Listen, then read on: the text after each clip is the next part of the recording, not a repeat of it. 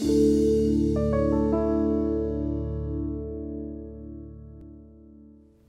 and welcome back. I'm Dr. John Oldham, Chief of Staff at the Menninger Clinic, and welcome back to our series of podcasts that we call Menninger Mindscape. Every uh, podcast that we do, we try to bring you something interesting um, that we believe is particularly relevant in terms of clinical work. And today we're delighted to have Dr. Ben Weinstein with us, who is director of our assessment service here at Menninger Clinic. He's also associate professor in our Department of Psychiatry at Baylor. And Ben is uh, both a neurologist and a psychiatrist and runs um, a division that includes a very, very busy inpatient component uh, as well as outpatient assessments. But Ben, tell us a word or two about the Comprehensive Psychiatric Assessment Service. Yeah, thank you for inviting me. The assessment service that we run uh, is truly a, a chance to look at someone's whole life and put them in the context of their family, of their work, uh, and as a part of their life, their struggles with mental illness. We have the opportunity for two or three weeks to work with someone, directly observe them, interact with them, and do a number of evaluations trying to help really boil down to the core issues of why their life is not going the way that they wish it was. And it's a, it is a truly wonderful group of people to work with. We have psychologists, social workers, wonderful nursing staff, neuropsychologists, internists. It's a, a real team approach, uh, and it, it's the most gratifying work I've ever done. Well, that's really terrific. And, and patients who come here have often been through lots of other efforts to get treated, to get better, to feel better, and are often just kind of stuck. So you have the chance to kind of look at it in depth, top to bottom, and really see if there's a way to figure it out. And sometimes that requires some specialized testing. So we don't have a lot of time today to talk about all the things that go on on CPAS, as we mm -hmm. call it. Uh, but one is particularly interesting, and this is what we call targeted genetic testing, yes, which sir. reveals some things that sometimes have not been known that then moves things in a, in a good direction. So tell us a little bit about that.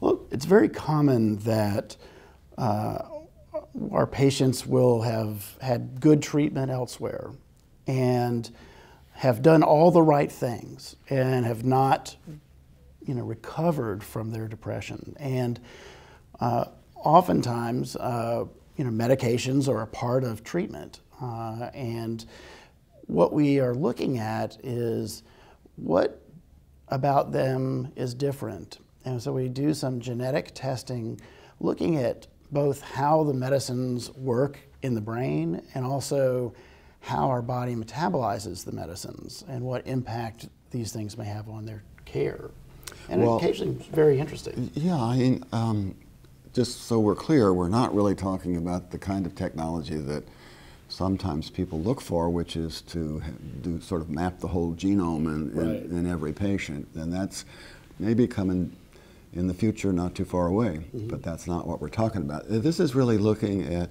at medication and how it's managed. I sometimes uh, hear it referred to as psychodynamics and, psych, and I mean ph pharmacodynamics and pharmacokinetics. Mm -hmm. We talk about psychodynamics here as well. Yes.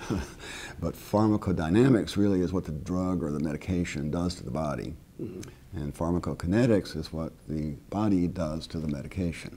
And sometimes those are things that really get in the way of the delivery of an effective dose to the brain in a way that would work. G give us an example or two of how that well, we've, looked. We've been doing this for a little over uh, a year and a half, and we've had a number of really interesting cases. One that immediately comes to mind is a young woman who had had good treatment, a number of medication trials for her depression, but was never able to tolerate medicines. And she was one of our very first cases. And what we found is that the medications she had tried were, which were appropriate, the most common things prescribed to people initially are SSRIs, Um, SSRIs are an antidepressant, are, are, right? Are, it's a uh, antidepressant, correct? And these uh, medicines are very commonly helpful. But for this person, she was unable to tolerate it. And it turns out that she had both a pharmacodynamic and a pharmacokinetic reason that those medicines wouldn't be tolerated. That she was in the highest risk group for side effects, uh, both in both categories. And so we were able to, based on that information, choose an alternate medicine that would help her recover from her depression. And uh, we've had a number of cases like this where. But, but so here's a case where um, the right medication was being prescribed. Mm-hmm. The problem was depression, it was severe, and she couldn't tolerate the medication. Mm-hmm.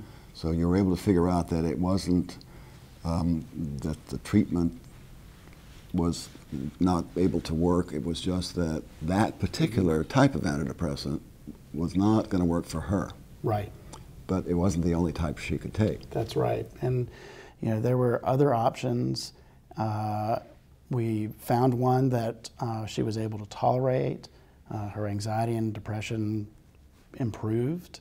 Uh, and she returned to her good provider uh, that referred her. Uh, and, you know, it's very common that these patients are getting good care they're doing everything that we tell them to do, ask them to do to try to recover.